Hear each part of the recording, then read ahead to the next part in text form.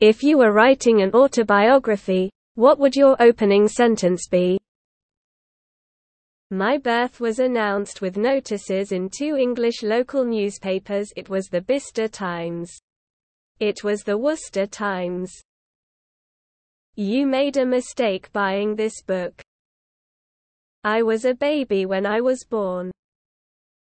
When I was born, I briefly held the record for being the youngest person alive. It was all downhill from there. Just because my parents wanted to fuck back in 1964, I'm stuck here cleaning up everyone's fuck ups. Neither of my parents showed up for my own birth. In the beginning Anonymous was created. This had made many people very angry and has been widely regarded as a bad move.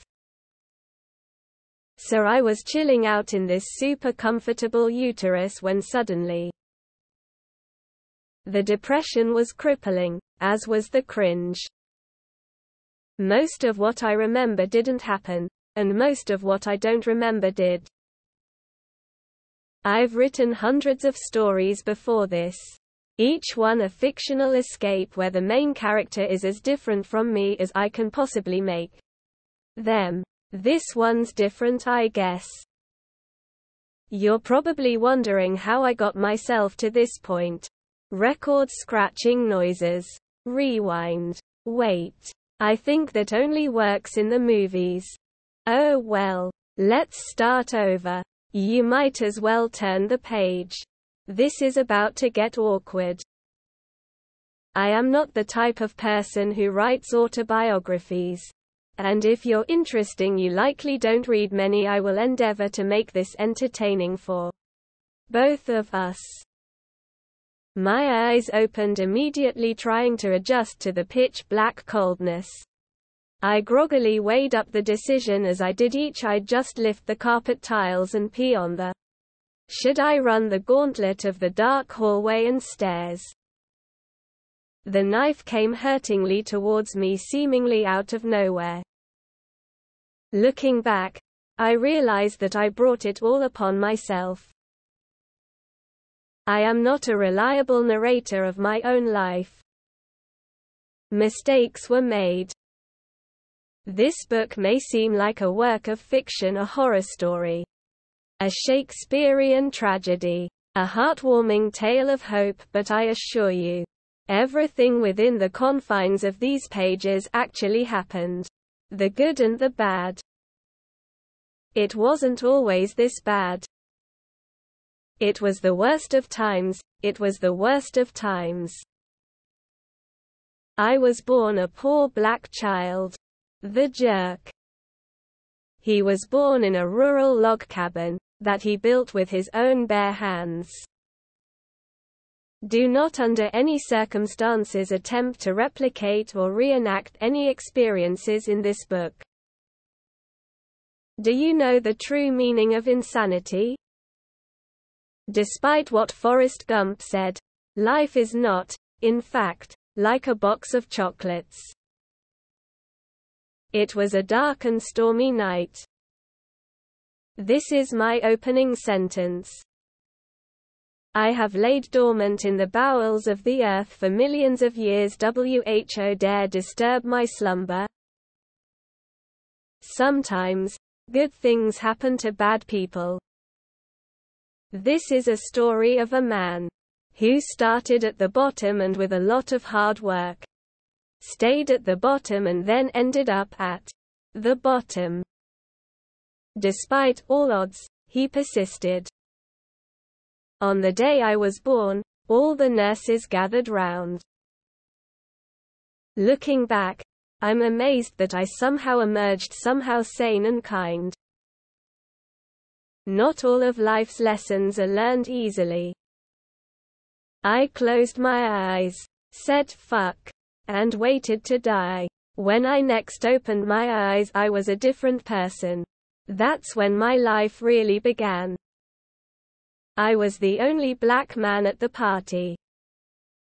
With a blank page before me, I could write my story as a comedy, a tragedy, or a somber warning I could paint myself a hero, a villain, or a victim I could say that I was the driving force of my destiny or merely a vessel of fate. New or this is the story all about how well, shit. It all started with a lot of screaming, blood, and violence.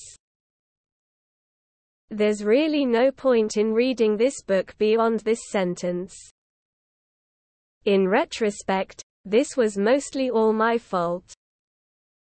With great power, comes great responsibility at least that is what Uncle Ben used to say.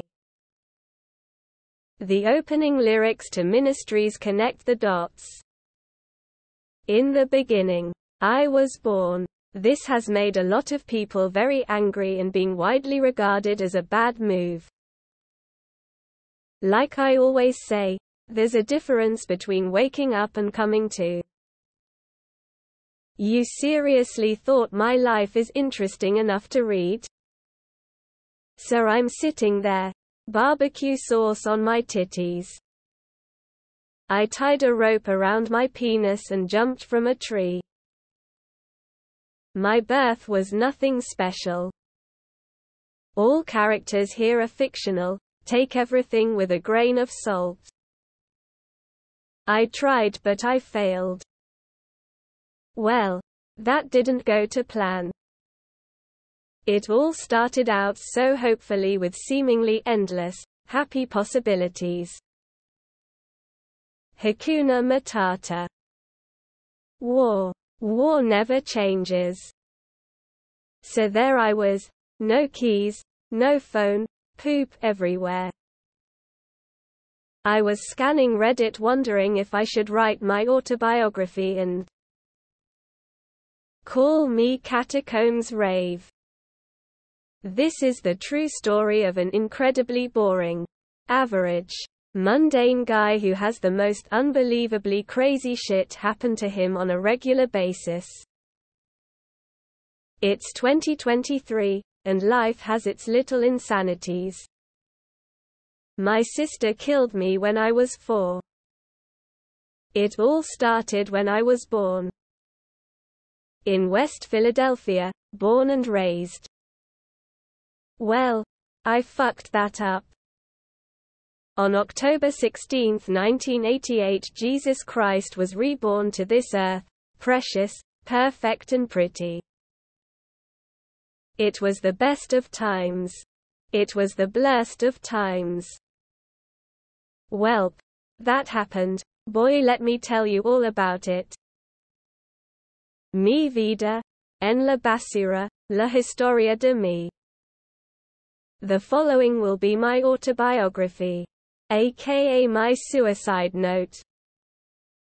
Is this a recounting of my life? Or simply a sequence of events that I had no control over and assimilated into my idea of who I am?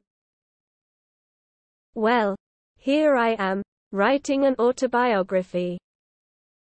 To the three people who will read this, don't waste your time, skip to chapter 16 right now. Life isn't always a banana split. I was spat out of my mother's womb. Stuff is happening. It seemed as though I had only just died before I was born. This book will likely never be published.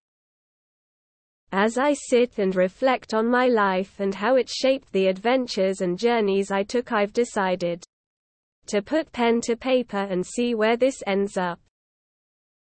WTF happened there then?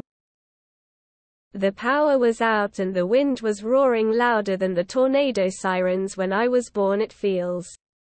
As if that storm has not yet passed. So my problems began when I was born. It was a dark stormy night. You ain't gonna believe this shit. The man in black fled across the desert, and I sat on my recliner eating Taco Bell. It was the best of times, it was the blurst of times. While ain't gonna believe this shit.